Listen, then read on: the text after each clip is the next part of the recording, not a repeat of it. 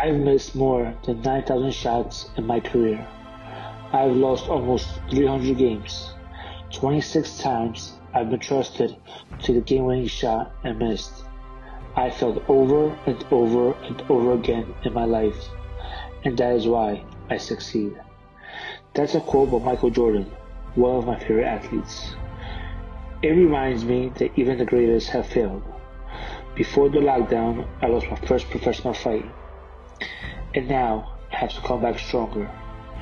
Just like the whole world, especially New York. But here in New York, we are New York tough. With the right guidelines, we gotta open up the economy and make sure we support our local businesses. And give a huge thank you to frontline workers. And keep in mind, this is a minor setback for a major comeback.